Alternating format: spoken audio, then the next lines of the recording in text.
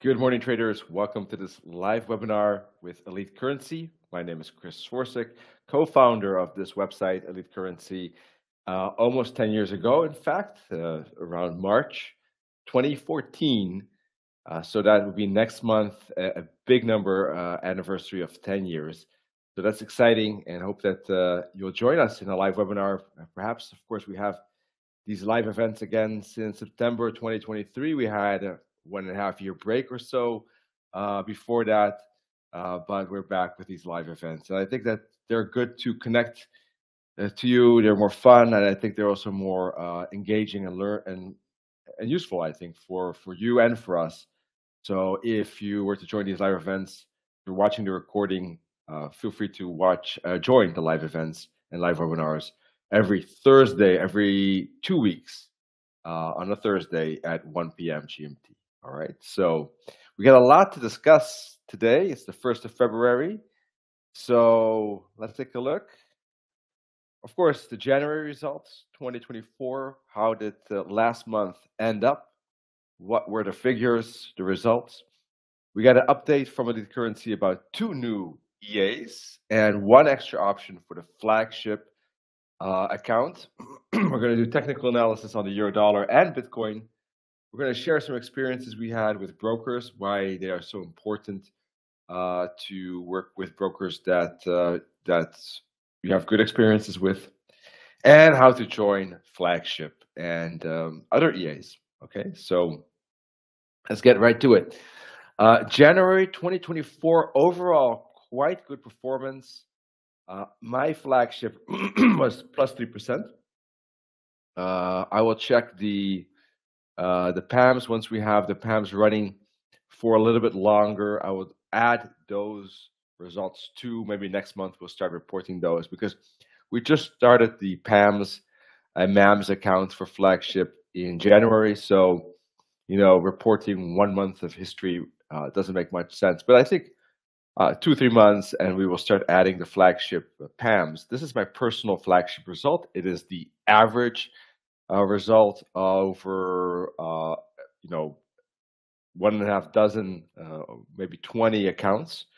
Uh, and uh, so it's it's an average. Some will be more, some results will be better, some results will be worse if you look at it per broker, per individual broker. But this is my uh, net gain or, or average gain, I should say. So we will add also in the near future the flagship PAMMs uh, so we see what those results were. My total result so far since tracking here was plus 113%. I think it's been tracking for one year and three months or so. Uh, but I've been trading, of course, flagship for four years in total. I have a live track record for four years. So it's very lengthy, more than four years now, uh, which uh, is one of the reasons why I like flagship so much. Okay. So uh, very sturdy result. Number two on the list, Athena EA, plus almost plus 95%, almost plus 100%. The track record has been uh, longer, so the average monthly result is higher for flagship than with Athena EA, but plus 100% is still a great result. Uh, even over two years, even over three years, really. You know, I mean, of course, uh, an E plus result is, is, is in a way good but uh, so yeah, de- definitely good results with Athenia so far. In total, uh, last month specifically was almost plus two percent. Cronus EA we've been following for a few months now. It had a great January, the best result in January, actually with almost plus seven percent, and the total uh, hitting almost plus forty with thirty eight point one percent there. So Cronus EA doesn't have the same length of track record as flagship with Athenia uh, but it's uh, it's you know it's increasing. It's going up the ranks. Let me say it this way: it's past ECS signals. It's past UCA. So uh, it's uh, it's up and coming uh, EA that's doing very well and had a great January. In fact, ECS signals and Zeus EA weaker. ECS signals did have some recovery in January after a weak December with almost plus 3% performance there, plus 2.71. And overall, though, only plus 12. Zeus only plus 6.4 and actually had a negative, the only negative month of any EA uh, that we have of these seven, in fact, with almost uh, 5% minus, minus 4.72. Six systems plus, one minus. Zeus EA was the minus one. It is also the lowest uh, profitability in total of all the EAs. So uh, seems to be the less interesting option at the moment, but we're going to keep trading that uh, because performances can vary from period to period. And, you know, one EA might start to perform a little bit less and, and Zeus EA might start to perform a little bit better. So it's still good to, uh, to keep it on board as long as, of course, the losses are not uh, within a moderate level, an acceptable level. Um, and that, of course, depends per trader. Everyone has their own risk tolerance. Everyone has their own risk aversion, what they feel comfortable with losing and risking. Two new EAs, as I promised at the very beginning. Those are Hermes EA and Hades EA. We've been trading them for a while, but we didn't add it in the overview summary as yet because they're new. So we were testing that. But um, we've had good results. So we're going to add them uh, and they're available with Elite CurrenSea now. Of course, the longer the track record becomes, in general, the sturdier um, background it has. Of course, that doesn't guarantee that the future results will be the same. It never does, uh, and that's something always to be to be careful of. And that's why risking capital that you can afford to lose is always step number one and very important. Uh, but we decided to add these uh, new EAs, two new ones. Uh, Hermes plus 3.69%, Hades plus 1.78%, the total plus 12 for Hermes, plus 36 for Hades. So Hades taking in a fourth spot, quite off the bat, in fact, and Hermes taking the fifth spot out of all all of these EAs. Now, as you can see, of course, flagship, number one, obviously above the 100%, number two, Athene EA. And it's going to be interesting to uh, monitor Cronus, Hades, excuse me, and Hermes uh, to see how, how fast they're going to grow. And we'll keep monitoring the others as well, of course. So first of all, portfolio performance. Uh, with this particular broker, actually had a negative January, but it was compensated.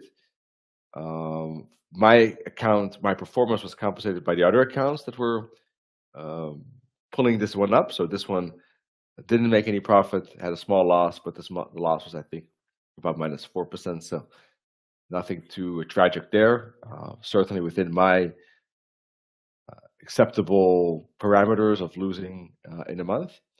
Uh, and otherwise, great performance from one and a half years ago almost, and up almost 230%. So that can happen with one particular account that it's slightly minus. Uh, but overall, once again, the performance for my account was plus 3%. You can see that here this year, plus 3.05%, all time uh, plus, uh, 113. And you can see that's a result that I have gained not with a small amount of capital, not only with just like a thousand euros. No, that has been gained with the, the, balance here, which is almost half a million dollars, as you can see, or euros, in fact. Uh, in my case, mostly euro accounts, but uh, on the Elite CurrenSea website, we use the dollar sign. So uh, that is a, a big amount. Um, but I feel comfortable with trading this amount, despite its size, for me at least. I mean, maybe for some um, who are trading with uh, seven eight figures, this is still small, but I think for a lot of retail traders who are trading with thousands or tens of thousands, this is quite a big sum. I feel comfortable with trading this sum on flagship. And of course, I trade other EAs too, but I trade with lower sums because that's how my own comfort zone of, and risk tolerance for drawdowns, that's how I feel comfortable with. So uh, I allocate more to flagship and I allocate a little bit to all the other EAs I just mentioned. All right. Uh, otherwise, yeah, that's about it. Let's go to Athene EA, steady as it goes. Of course, that's why it's always um, good to keep in mind that uh, a grid system like that can run into struggles in a, a deep drawdown or uh, a bigger loss. So it is a wise idea in my idea in my mind at least to withdraw uh, profits uh, occasionally or regularly, I should say, uh, because a smooth equity curve like that always has a risk of hitting a snatch and the grids, you know, the grid system basically get, getting into some kind of issues and and a bigger loss could occur. So, uh, but otherwise, it's it's steady as it goes, and um, I, I like the the performance, of course, with a reasonable drawdown. So about three percent. We started here almost two years ago, in fact, or or yeah, just a, a, week shy, maybe of two weeks. So let's say two years, uh, two years, excuse me. So let's say it's about two years. So almost 100% in two years. That's that's good. Good performance there with Athena EA. Cronus EA has been trading now for about eight months and uh, has made a good 38%, which means that the average monthly result is 4.1%. Whereas if you compare it to Athena EA, it's 2.82%. So it's uh, almost uh, 1.3% more.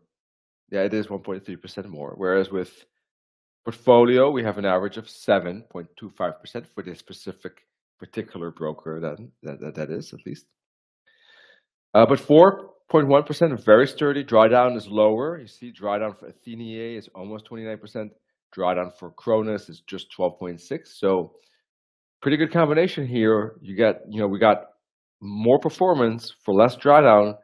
So Cronus EA, for the moment, um, from that point of view, from a risk reward perspective, reward risk perspective, beating Athena EA. Okay, but the track record is smaller. It's only eight months, whereas Athena EA is two years.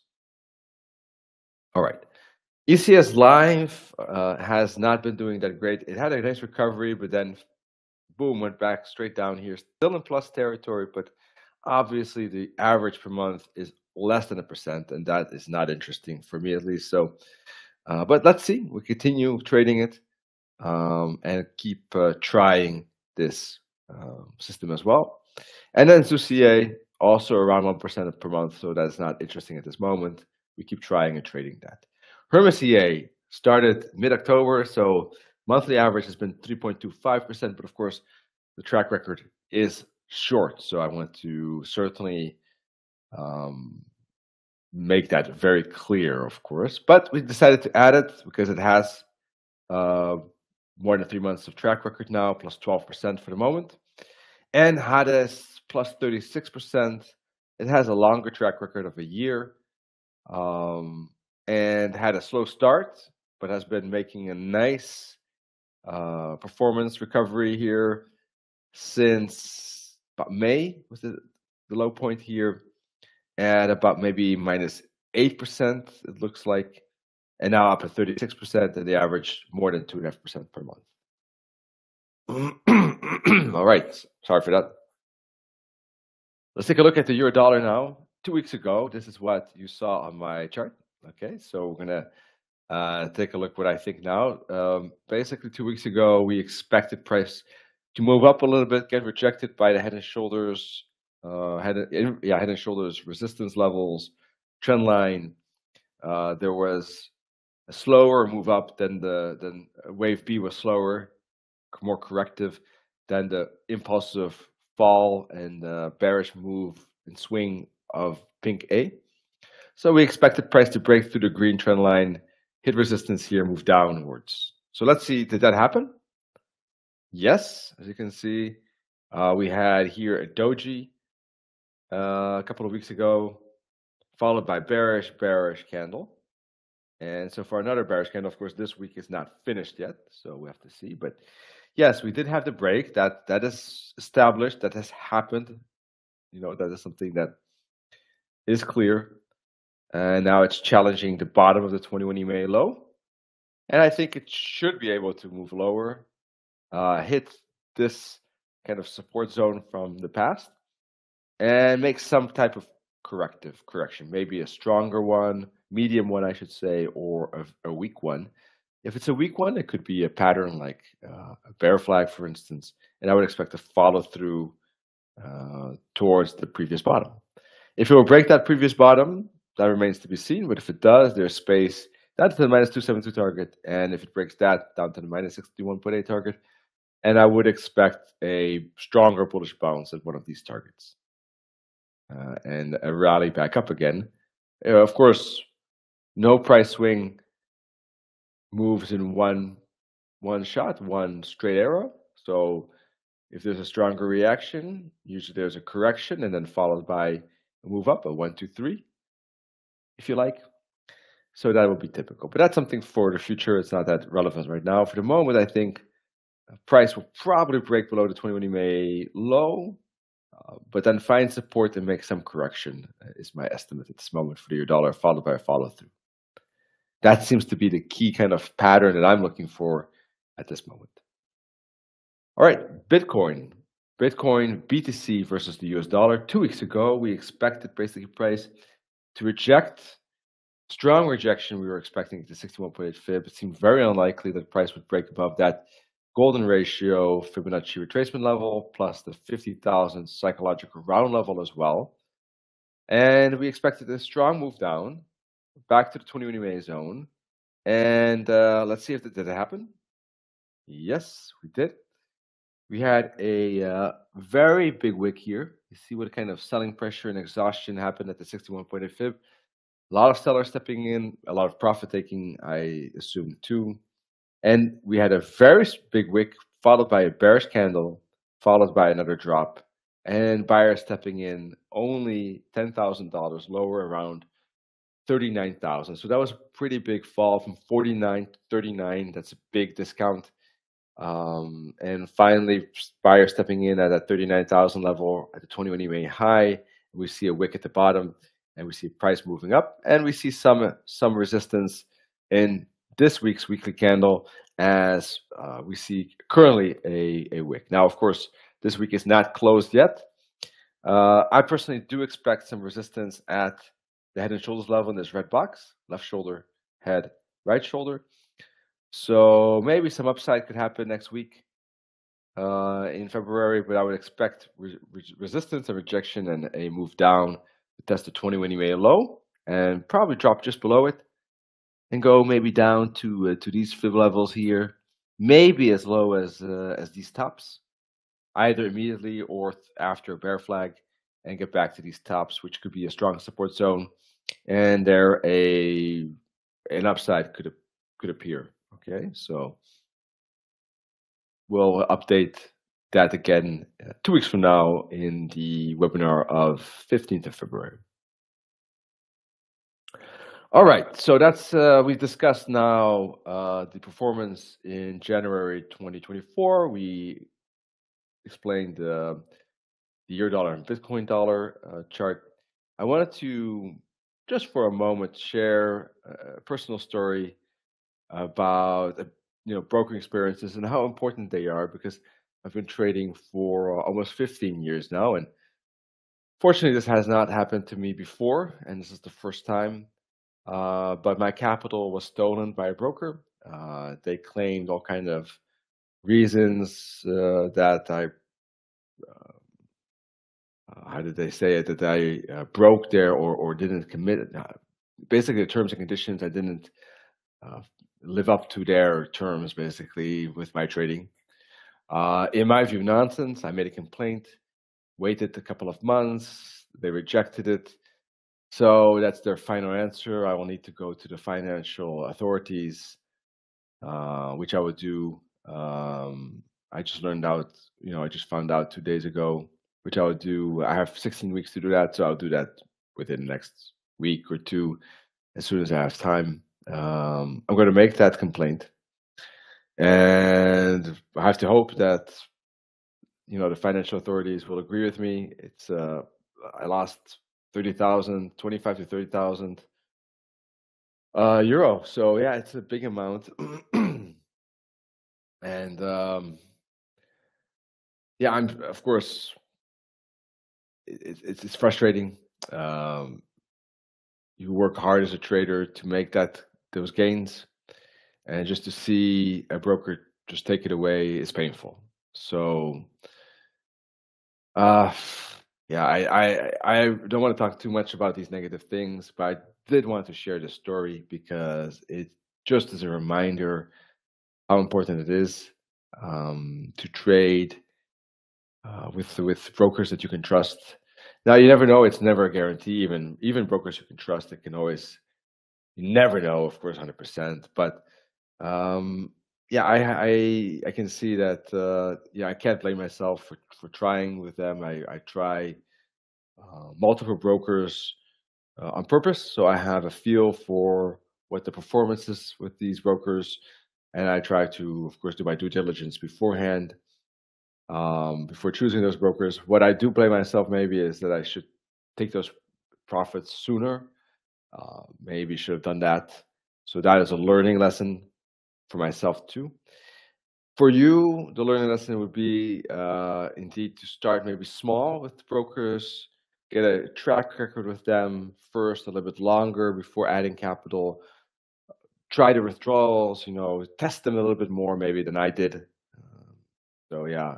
Also, another learning lesson is that you know the, the brokers we work with for flagship uh, for EAs are ones that we trust. Now, that's not a guarantee.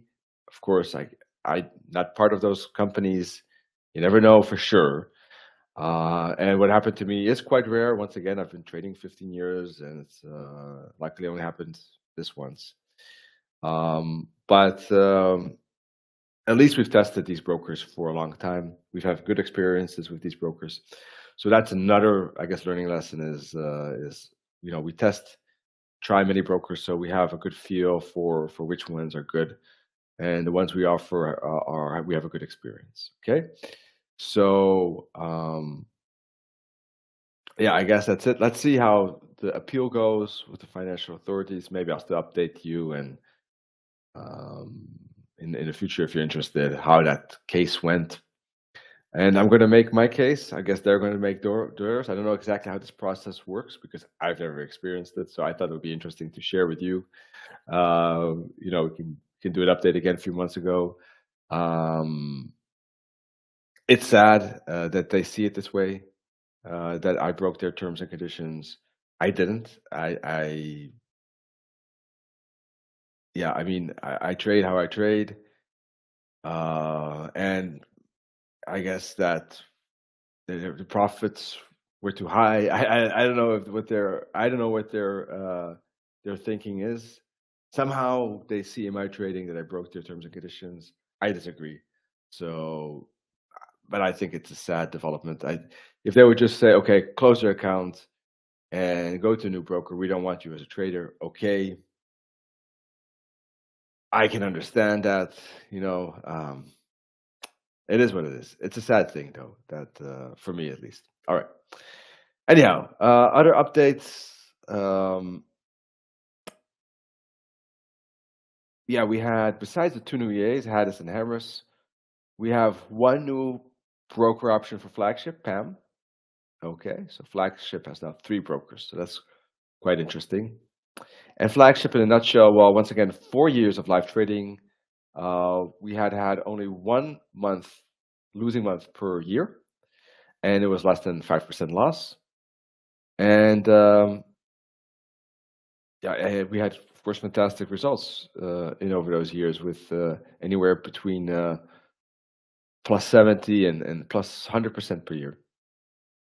So we have a new members area uh, once you join Elite CurrenSea with a lot of gadgets, a lot of data, and a lot of ways of uh, signing up and joining those EAs quicker and more smoothly and tracking as well. But if you want to join Flagship specifically, it's better to write us an email at info at elitecurrensea.com. If you're interested in EAs, feel free to join to the website, of course.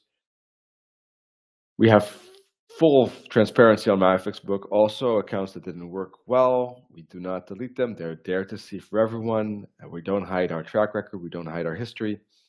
And uh, you can go through all these systems and accounts we've had. Are many, uh, and, the, and the good ones and bad ones. Okay. All right, that's it for for now. Thank you for joining this webinar. Hope to see you again in two weeks from now. Wish everyone a great February with trading. Um, and uh, we'll see you soon. Okay. Cheers. Bye bye.